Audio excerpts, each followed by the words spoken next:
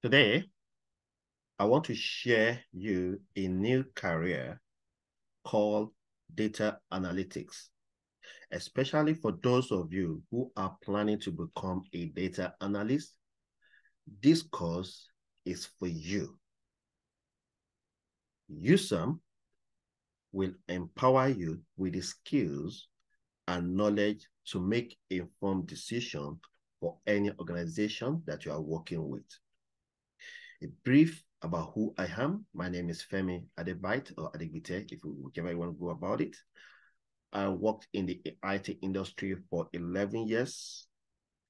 Presently, I'm a lecturer for over 13 years, specializing in Python, network security, and cyber security. I'm an associate specialist for Cisco and CompTIA in data analytics, cyber security, networking. Presently, I work for Federal Exam Board within, within the United Kingdom. So I have a broad overview in terms of industry experiencing and the academic environment in order for me to be able to help you. If you are interested, please use them. You can see the website below or the email there if you're interested in any of this area, of course, to develop your potential.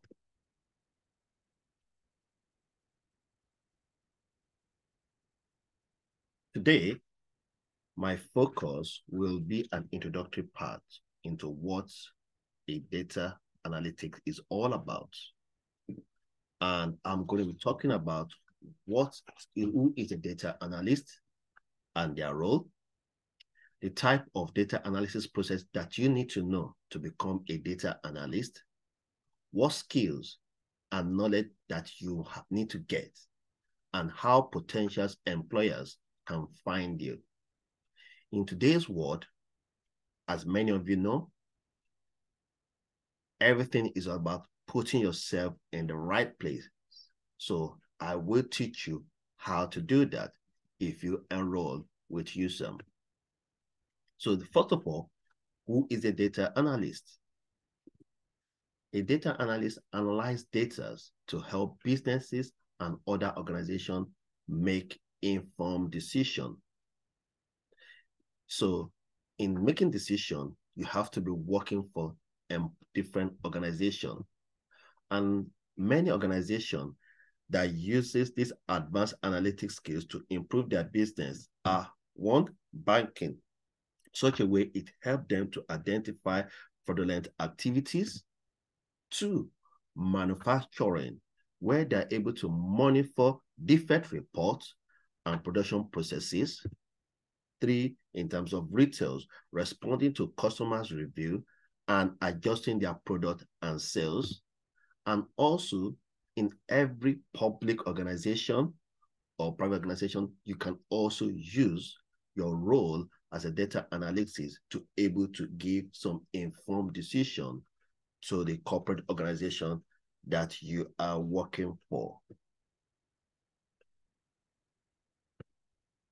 So what is my role as being a data analyst? To become a data analyst, it must it's very important that you understand what your role is. So as a data analyst, data analytics involve looking into historical data to uncover the trend, the pattern, and descriptive information about an organization and you need to be making better decisions in answering questions such as who are the customers and how best you can reach them. What is the state of the market and their competitor? What has happened in the past and how can that inform the future growth? What is currently happening to the business? What does the future hold in terms of the business? And lastly, why are certain then occurring within the business? Being a data analytic, you must be able to get the data in order for you to understand the model circle on how to able to make those informed decisions and see what are the way out in doing that. So that leads us to the four types of data analysis model that you need to understand and you must know. The role of a data analyst is to present information in a way that make it easier for a non-technical person or to make to make it easier for anyone to understand. So it is very important that you know this type of analysis. The first part of it is known as descriptive analytics, which focuses on what has happened. That is, it primarily uses to its primary focus is based on observing data to identify key characteristics of the data set and rely solely on historical data to provide report on past events. An example of that could be sales, inventories, or operation of data. The next part is known as a descriptive analytics, which focus on what could happen. That is, it uses simulation models and forecasting to suggest what could happen going forward, which could guide a realistic goal setting, such as effective planning, management of performance expectation, and avoiding risk.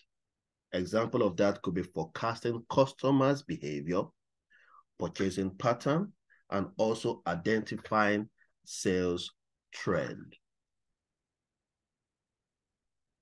The third part is known as prescriptive analytic, which focus on what should happen.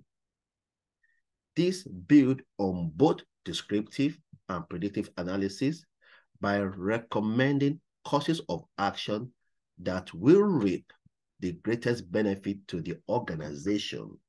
Example of that, which you are quite familiar with, is our GPS-based map and a direction application. And the final one of the type of data analysis product, sorry, analysis is known as diagnostic analysis, which focus on why things happen. This, and this uh, enhance descriptive analytic process by digging in deeper and attempting to discover the causes. The usual one that is common to many of us is our subscription cancellation to either Netflix or any organization that will, for like Netflix, anything that we do subscribe to on a monthly basis. And cost organization want to know the reason why people are canceling their subscription. So that is known as diagnostic analytics tools as well too.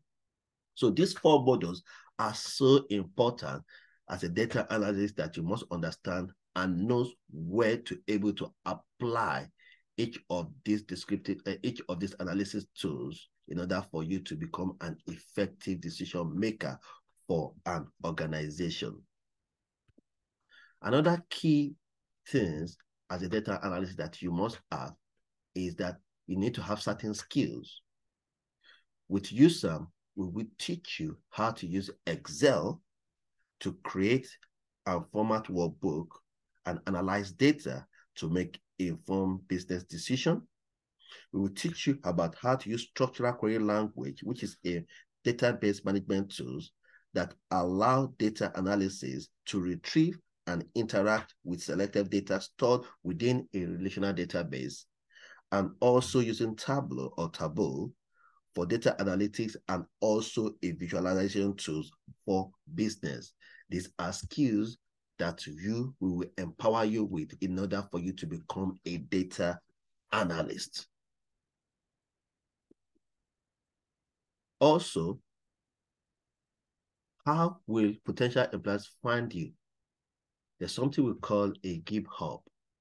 A GitHub is basically designed for not only for data as a data analyst, but also for IT professional to share, to collaborate, and showcase their work. Employers often search using GitHub to find applicants' profile before scheduling an interview.